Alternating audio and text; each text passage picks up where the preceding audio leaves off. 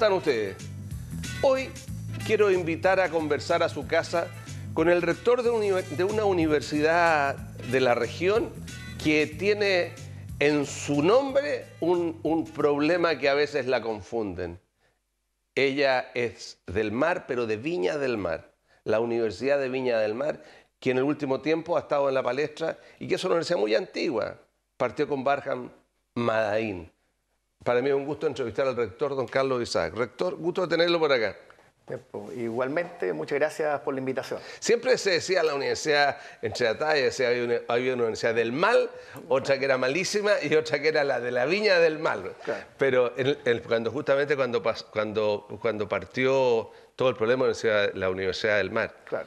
Pero ustedes han consolidado muy fuerte eh, con una asociación con, el, tema del Grupo Laureate pero últimamente eh, les han dado muy fuerte eh, en la última semana eh, relacionado con un informe que publicó el, grupo CIPER. yo quiero que partamos por eso, por la parte más dura, que me parece increíble que, que se diga por los diarios que es crítica la situación financiera de una universidad que hasta el momento no, no, se ve por ningún lado que no se paguen los sueldos, que haya, que haya eh, eh, eh, profesores en paro, que hayan imposiciones adeudadas. Yo me preocupé de mirar en los registros y la universidad, cero, tiquitaca. ¿Por qué este tema que, ha aparecido en, pantalla en el último tiempo? Bueno, así es. ¿ah? La Universidad de Viña del Mar es una universidad que, como, como dices tú, ya lleva mucho tiempo aquí en la, región, nació acá, estamos cumpliendo 30 años. Se lo creo. Cuando partió Barja Maín tenían un instituto profesional que está en calle Quillota entre dos norte eh, y uno norte, una casa chiquita y después fue un juzgado. Así es, partió como un instituto profesional, después se transformó en una universidad y hoy día ya es una universidad consolidada con cuatro años de tiene la universidad? Tiene cerca de 9.000 alumnos, 9.000 alumnos. Así que ya es una universidad que está bastante consolidada. Yo ya lo creo. Y con mucha presencia en la región, que es muy importante también. Ustedes tienen además, justamente por eso, porque quiero hay que desmistificar un poco y quiero que usted lo aclare. Porque este tema que yo se lo presento al principio, también a nosotros no, no, nos cuadra porque hay un instituto financiado con fondos de gobierno en que está el ex rector, lo hemos traído para acá con cosas interesantes, una investigación, digamos. Explíquenos este tema del reportaje y, lo que hay detrás. Bueno, esto es, la verdad que es bastante simple, ¿eh? porque mucha, toda la información que hoy día tiene que ver con la universidad es pública y todos tienen acceso. Ahora, lo que sí es cierto es que nosotros estábamos sujetos a una, fiscalización, investigación del Ministerio de Educación, que se hace regularmente. Esto partió el año pasado, y es una investigación que hoy día no está cerrada. ¿Ah? Y, que por lo ¿Y una fiscalización por una denuncia o por.? No, simplemente están revisando. La Universidad de Ñalmar hace. Eh, generalmente el Ministerio tiene, tiene el derecho y la y dentro de sus atribuciones el poder enviar oficio a la universidad y que le entreguen información. En este caso nos pidieron información financiera, estados de resultados, matrícula, ellos cruzan información con lo que hay en el CIES de varios años para atrás y estaban haciendo un análisis de la situación de la universidad. Eso partió el año pasado y es una investigación que no, se ha cerrado, que debería estar pronto a cerrarse. Eh, y, que, por lo tanto es reservado y nosotros no podemos dar mayor información y nadie debería dar ninguna información. Pero bueno, pero lamentablemente eh, se filtró en forma parcial parte de esa investigación que fue publicada y que ha hecho tanto revuelo. Y lo que se filtró dejó ver o dejó como un, sabor de que habían problemas eh, financieros en la, en lo cual es, completamente inexacto. Ahora, el tema es que eh, esto golpea un poco porque políticamente se vio o se veía o se siente por algunos como incorrecto que la ex directora de Educación Superior, que es rectora de una de las universidades que componen un grupo, que es el Grupo Laureate, en que está la Andrés Bello, las Américas y la Universidad de Viña del Mar, haya presentado legítimamente eh, un recurso ante el Tribunal Constitucional eh, relacionado con el proyecto, un proyecto de modificación que tenía el, gobierno sobre eh, el, tema de, los requisitos o de las condiciones para poder tener el control o, o, organizar una universidad. Para que la gente le quede claro, el, Tribunal Constitucional lo desechó por establecer de que eh, eh, esa, esa, ley o ese, eh, tiene una contraposición con el derecho que tiene cualquiera de abrir un, establecimiento vocacional que lo, establece la Constitución y porque además dejaba fuera de ello a las entidades con fines de lucro que fueran los organizadores. Y que eso no se contrapone con el hecho que ninguna universidad puede tener fines de lucro. Eh, pero eso les afectó indirectamente a ustedes. Entonces, mi pregunta tiene que ver desde el punto de vista de, cómo podrían ustedes, desde el punto de vista de la Universidad de Viña del Mar, eh, eh, aclarar cuál es la relación con el Grupo Laureate dentro de este tema.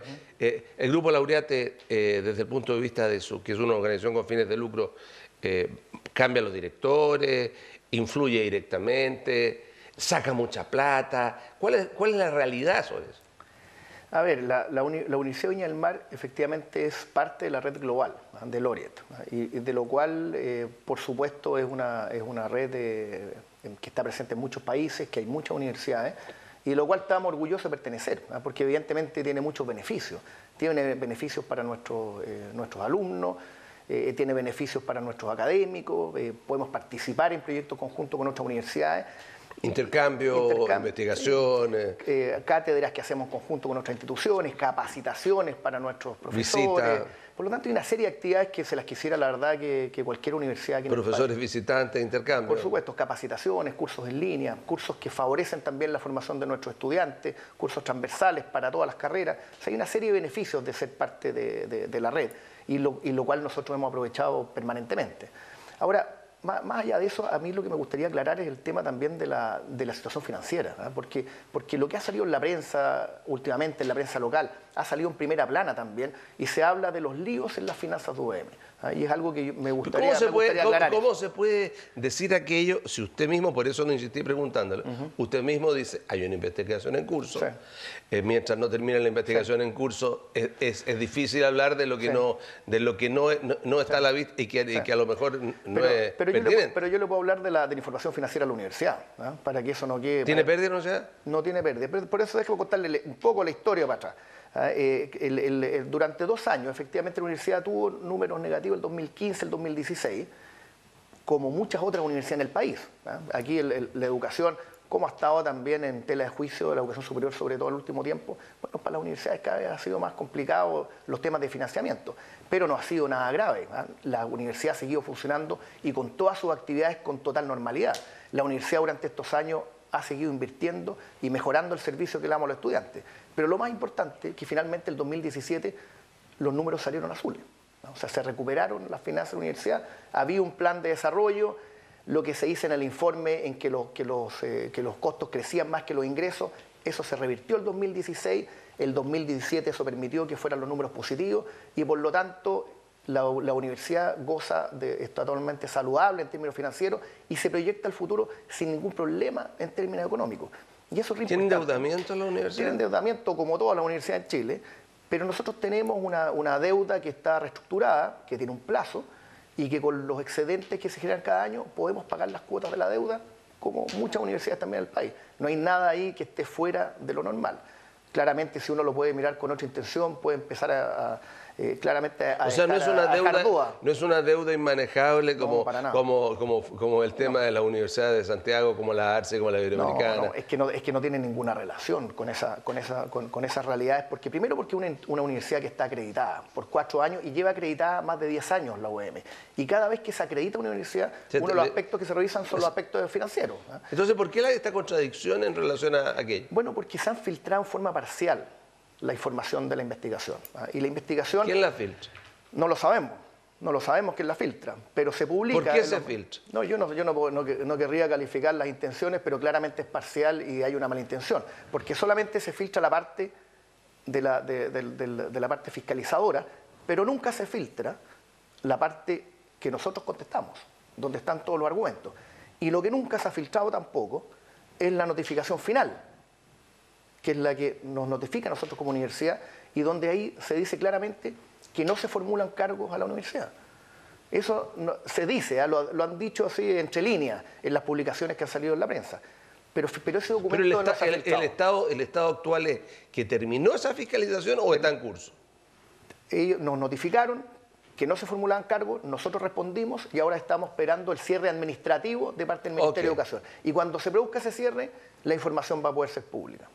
Pero, pero, pero aquí lo importante es que la gente, nadie está hablando aquí los estudiantes, que nosotros tenemos 9.000 estudiantes, más 500 eh, trabajadores, más 700 profesores. Al final hay más de 10.000 familias que están vinculadas al UEM, que impactan a más de 30.000 personas. Y la mayoría de eso no están viendo. Es bueno que la gente sepa, o sea, para que la gente, la gente los números, el endeudamiento. La gente tiene cosas muy simples. ¿La universidad se va a cerrar o no va a cerrar? No, de ninguna forma. La universidad tiene, eh, interesan a mil y tantas personas trabajan, tiene problemas para pagar sus sueldos, para pagar sus imposiciones. Ningún problema. los, profesores no se van a ir a medio camino, digamos. La universidad va a perder la acreditación. Tampoco. Entonces, desde el punto de vista del funcionamiento normal, eh, eh, el ruido, claro que hace mal, pero hay que destrabar qué significa el ruido. Sí, por supuesto, y es importante transmitirle a todas las familias que son parte del UM que no hay ningún riesgo del futuro y la sostenibilidad de la universidad. Y más aún, la universidad tiene un plan de desarrollo claro para el futuro, estamos creciendo, estamos innovando en nuestra oferta, estamos haciendo proyectos de presencia regional. Por lo tanto, no hay ningún ruido. Y yo por eso quiero transmitirle tranquilidad a todos, que la universidad va a seguir funcionando y cada vez mejor. El reglamento interno hace que hay una junta directiva. Así es. ¿Y usted depende de la junta directiva? Así es, la junta directiva nombra a, la, a ¿Y usted tiene la función de representante legal, de, dirigir, administrar, organizar y reestructurar la universidad como usted quiera? Por supuesto, hay, hay, obviamente hay estatutos en la universidad, hay ciertos reglamentos internos, pero yo soy el representante legal y yo tengo dentro de mis ¿Y qué hace el Grupo Laureate dentro de esta estructura? Bueno, el, grupo Loriet es parte de, los sostenedores de la, universidad. ¿Cuántos son los sostenedores? ¿Solamente el grupo Solamente, sí. Solamente el grupo de ¿Y, la forma de, definir el rector y los miembros de la Junta Directiva, cómo se hace? No, eso está por estatuto, lo define, la, Junta Directiva. La Junta Directiva define quién es el rector. ¿Quiénes integran la Junta Directiva de Son ocho directores. Son ocho directores y que, que algunos que vienen de, diferentes lados, con eh, algunos de ellos con mucha experiencia en educación ¿Gente de acá de la región o de Chile? Sí, hay gente de la región también. ¿Extranjeros hay? No, extranjeros no. ¿Son puros chilenos? No, hay extranjeros, sí, hay extranjeros, pero que viven en Chile. Ok, pero gente que está en la realidad del día a día y vinculada al mundo de la educación. Sí, por supuesto. Gente que vive en Chile o ha vivido en Chile, que están, han estado vinculados con la educación superior en Chile durante mucho tiempo. Usted viene del mundo, viene del mundo del retail, tenía una masandería, eh, es inversionista en la bolsa eh, y aquí los vienen a cargo de esto, ¿no? ¿Qué es lo que hace usted antes? no, yo he estado siempre vinculado a la educación superior y llevo casi 30 años ya trabajando en educación superior, en distintas instituciones. ¿Ergo? Uno saca la línea para la suma, entonces, ¿de dónde sale, sale toda esta cosa, digamos, este rumor que, que cuando uno se lo echan encima, eh, es difícil sacárselo hasta con piedra pome. Sí, claro, sí, por supuesto. hay, hay, mucha competencia, hay mucha competitividad. Hay un tema también que pueda salir de esta competencia entre lo privado y lo público. Por supuesto, por supuesto, hay también un tema, hoy día ha estado en la palestra, en la, en la, en la discusión de la educación, especialmente superior, eh, el fortalecimiento de la educación estatal la discusión de quién tiene fin público, quién no tiene fin público, y por lo tanto hay, hay una discusión ahí al respecto y, hay, una, eh, hay, un dejo de, mirar en, eh, eh, en, forma un poco más despectiva todo lo que es el sector privado. Y claramente el sector privado durante todo el desarrollo de la educación superior en los últimos años han sido los que han permitido con el crecimiento con mayor fuerza y han permitido que Chile tenga una cobertura al nivel de los otros países de la OCDE. O sea que el sector privado ha apostado mucho en este país para el desarrollo de la, educación superior. Ahora, en, ese sentido, digamos, ¿qué es lo que gana el grupo laureate? ¿Cómo? Porque una de, las, una de las cosas que aparecían en, el, tanto en, el CIPER como en otros, en otros lados, era de que habían contratos, que el tema, el tema de, la utilidad del, probable grupo sea por, por contratos de cosas inexistentes. Hay contratos de cosas inexistentes o, aquello que está contratado es realmente cosas que se pueden medir, probar, tasar y determinar que allí no hay lo, que dice el informe. Del CIPER, no del Ministerio. Sí, sí, sí, por supuesto. Bueno, hay, hay contratos, efectivamente. Nosotros como universidad eh, eh, tenemos servicios que son parte de la red.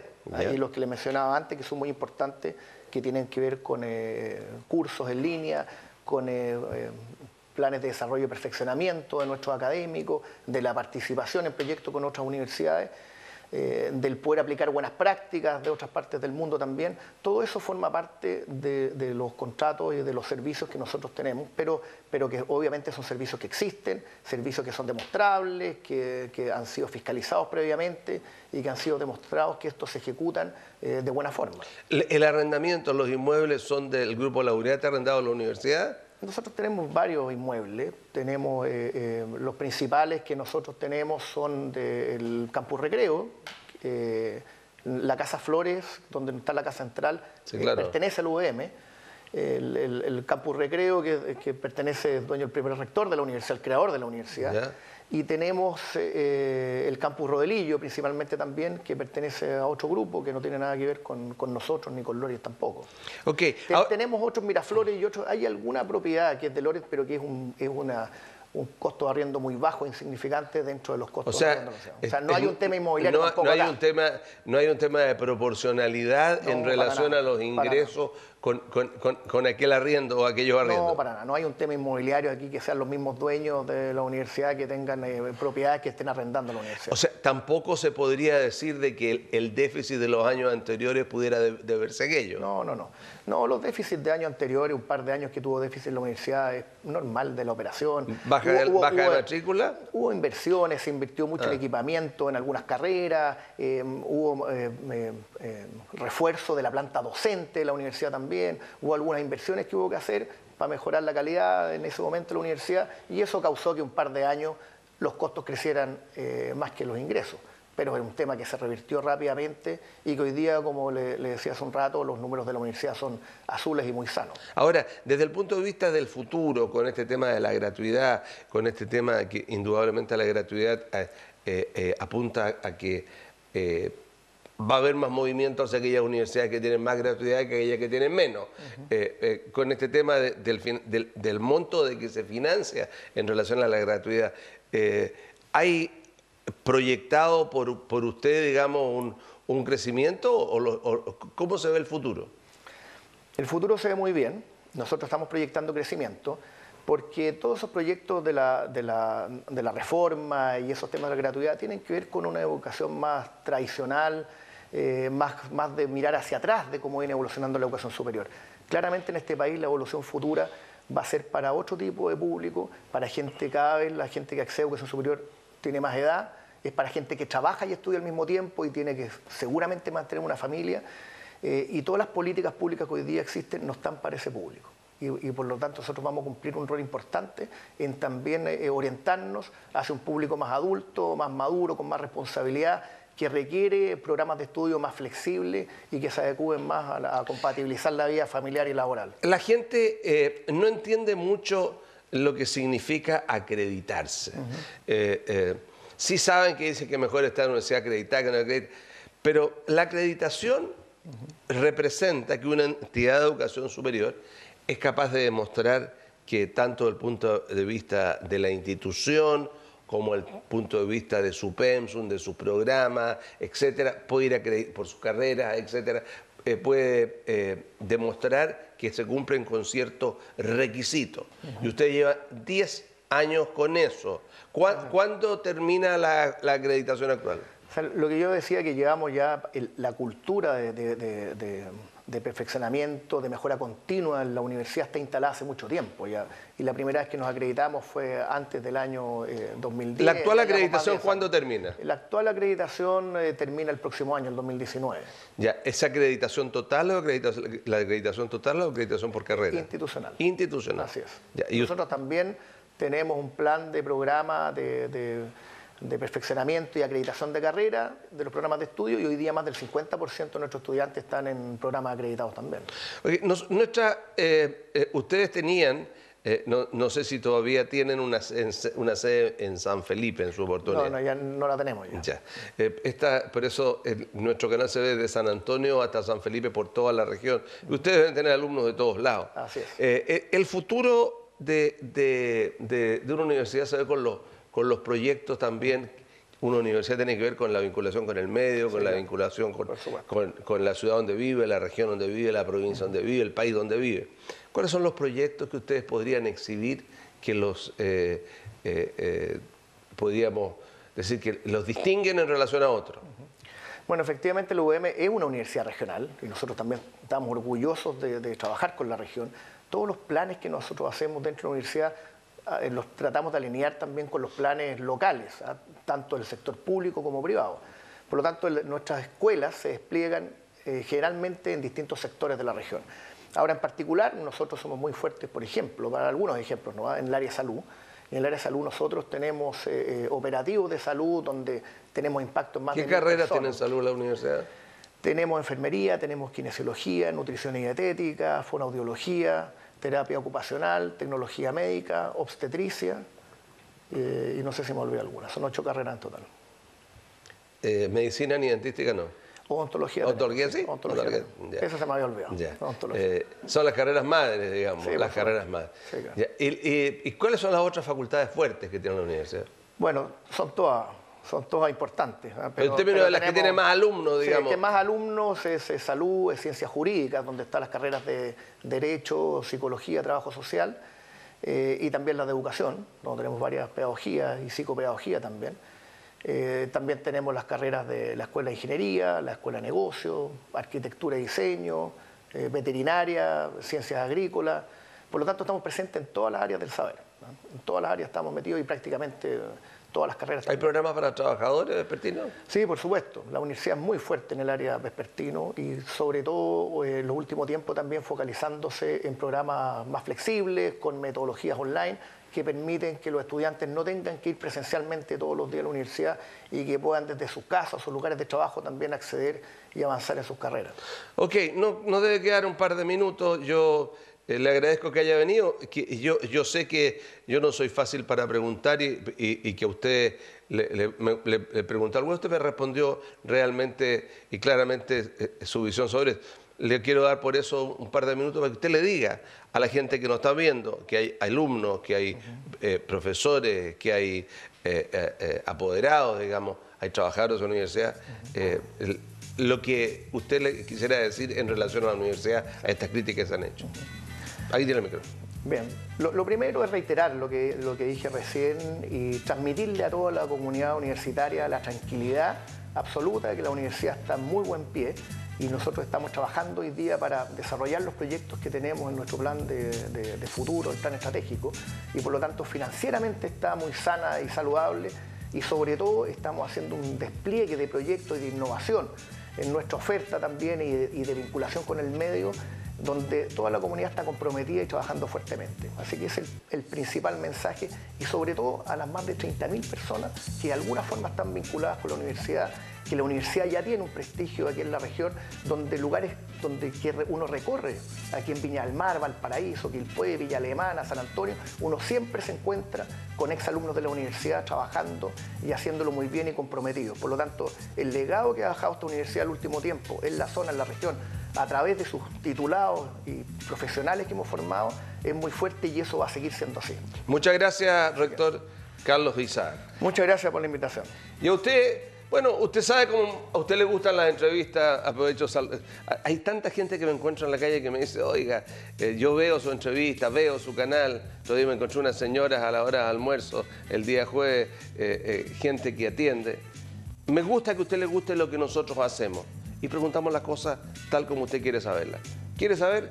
La Universidad de Viña del es una universidad que sí pertenece al Grupo Laureate, pero tiene su rectoría, está vinculada en la región, no en Santiago, y como el rector lo ha afirmado, tiene su finanza clara. Que estén ustedes muy bien.